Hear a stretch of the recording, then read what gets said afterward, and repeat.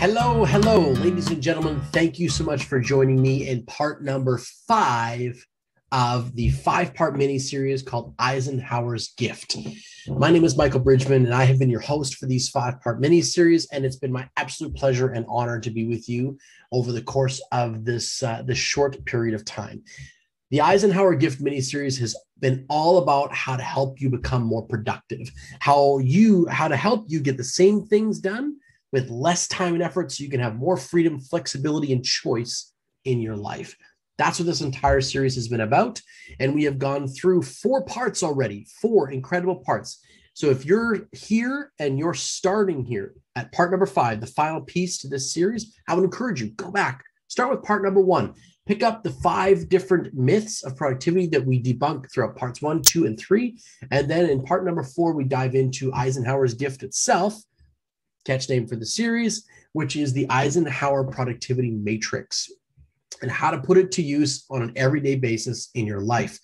These are the things that have helped me go from a trapped, struggling business owner to a freed, flexible entrepreneur who now owns multiple brands, multiple companies. And I frankly, I live a life that's incredible and I'm super excited about the journey that I'm on. And I'm very thrilled to be able to be here with you today in the final part of our series, helping you to figure out what's next. So, my friends, we are going to be tackling an incredible topic today, which is what comes after this? What comes after you do this work? What is it that comes up next?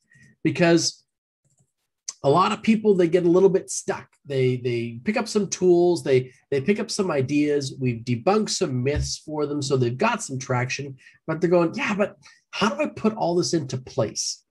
Well one of the major problems that a lot of people run into is that they start to seek advice from a big variety of places and that's exactly what what happened to me.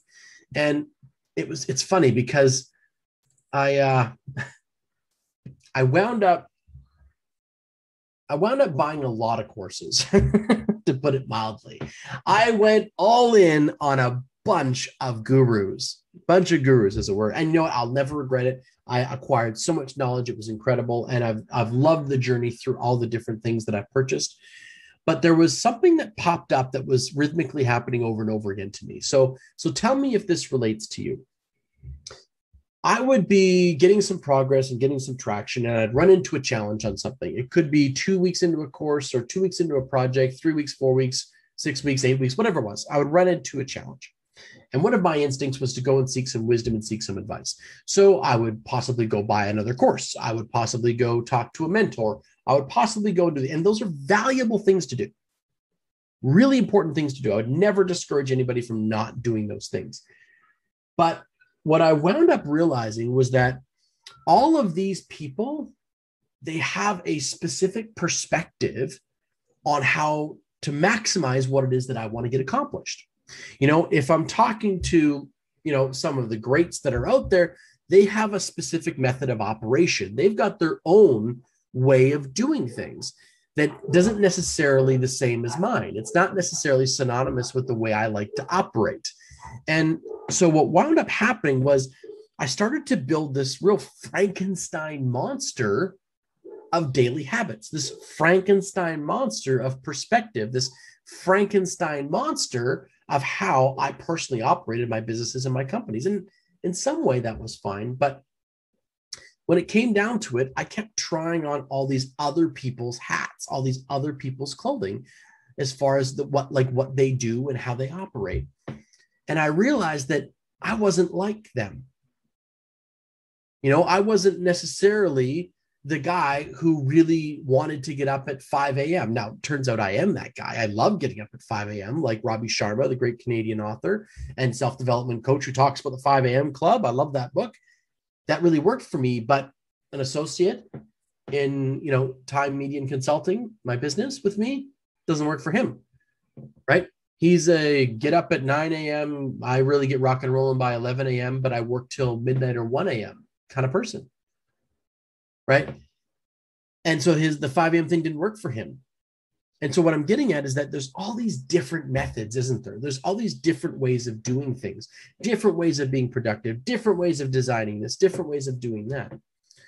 And I thought to myself, okay, it's if I'm not doing it this guy's way or I'm not doing it this girl's way, how do I do it? How do I can can these different pieces work? And I wound up putting together over trial and error my own productivity recipe my own productivity daily method how it was that i could be get more done with less effort, get on task stay focused have my goals i developed my own way of doing this but i'm not going to give it to you okay? I'm not going to give you mine because it's mine and it works for me. It's unlikely to work for you the same way it works for me. And so that's not the next step because the fact is is all these gurus have their way and they believe that their way is the best way and that's what they're going to teach you. But the truth is what about your way? What about the way you like to do things what about your method what about the things that you do well that can help you be productive where does that come into play where does that come from and i realized that there's there's something here. What if, what if we what if we just sort of stacked all these different concepts and ideas in one place? What if we put all of these productivity shortcuts, these hacks, these tools, these tips, these concepts and ideas? What if we made an almanac, as it were? What if we put all of these spots into all of these things, I should say, into one spot? And then said, you know what? Try them all on. Try half them on. Try a 10 of them on try a bunch of them on, see what fits, see what works for you, see if this combination with these two works for you, and that turns out to be your personal productivity recipe. See, because I think you're unique, aren't you? You have your own traits and your own feelings of things and your own history and your own inner workings. And the times of day that you're best aren't the times of the day where I'm best, perhaps. And so I put together all of these things. And I said to my own clients, I said, let's build out your productivity recipe. Let's figure out what it is that's going to work best for you because it's not up to me to delegate and to design a productivity routine that suits you. It's really about you going, mm, I love this. This feels great. This is a bit of a challenge, but I love the results from it. This is icky. That's a no go. They might all be things that I love, but that might not necessarily be the case with you. So, what I did was I put together a compilation. I put together a whole big book full of the 77 best productivity shortcuts I could get my hands on. Some are unique to me, some are my own coming up with. Many of them I absorbed and soaked up from a lot of the greatest minds on the planet and I've assembled them all into one specific place. And I'd like to share with you. Let me jump over here to my screen. Uh, this is it, my friends. It's called 77 Productivity Shortcuts for Busy Entrepreneurs. This is one of the most sought after books uh, that I have in my entire network. And I've, I've written a couple books down, but this is the most popular one. And for you, my friends, this is your next step. You've done the Eisenhower matrix now. So you're able to delegate, eliminate, automate. You know what are urgent and important versus urgent and unimportant matters. You know what are the things that are in quadrant number two that are going to move the needle for you.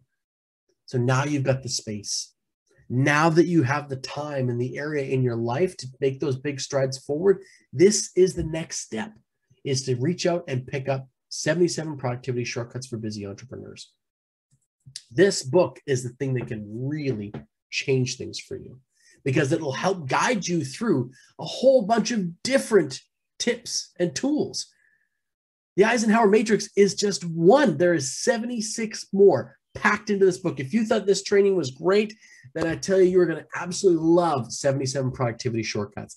This is the book that can be the golden key to unlocking your absolute most productive and best self. So in the description of this video, you can find the link where you can pick it up. And here's the thing. It is going to go on sale on Amazon for about 25 bucks.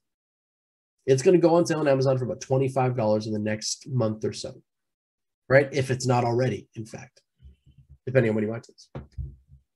I'm going to offer it to you right now for only $7.77. $7.77 for the 77 productivity shortcuts for busy entrepreneurs. This is an amazing deal. You can download all this wisdom. You can put it directly into your email email inbox within seconds. You can download all this wisdom. I've put a bunch of time and effort into this book directly for you so you can start absorbing up 76 more incredible productivity shortcuts so that you never get stuck. You never stay trapped in that that overbusy, overworked, overwhelmed state, you always have a really fascinating secret way of getting unlocked from those spots because something that works for you for the next six months, maybe it starts to feel stale. Well, now you've got 77 shortcuts that you can start implementing to see if one of those starts to get you ahead in the game again. This is an incredibly powerful book, my friends and pop on over. Click, click on that link. It's just below right now. Uh, you'll see it in the description box of this of this video. Pop on over. You'll see what people have to say about the book right? They're absolutely in love with 77 productivity shortcuts.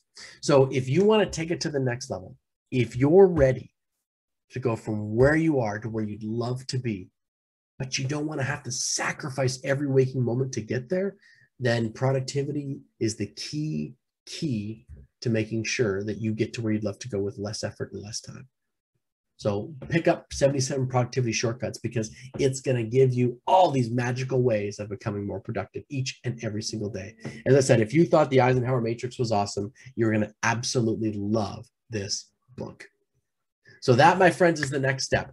Other than that, I hope you got tremendous value out of this quick series, this five part mini series, all called Eisenhower's Gift, all about making sure that you reach your utmost by being most productive you possibly can and using less effort and time to accomplish what you want.